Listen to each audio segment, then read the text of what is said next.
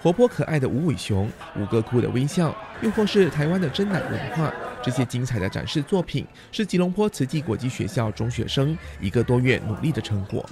我学到我们应该勇敢踏出第一步。一开始我是一个很内向的人，可是勇敢踏出第一步过后，我发现原来事情并没有想象中那么困难，我原来可以把事情做好。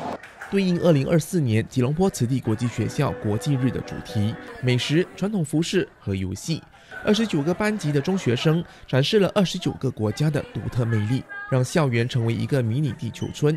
学生可以学习怎么样的和同学们一起沟通，然后怎么样一起去策划整个呃活动，也可以帮助他们更加的合作，还有 build 他们的自信心。A lot of problems happen in between. Now, there were some fights, some misunderstanding. Almost every day, sometimes I come to class at 7 a.m., I hear complaints. But eventually I learned this is the first school event which they do as a 7 Unity.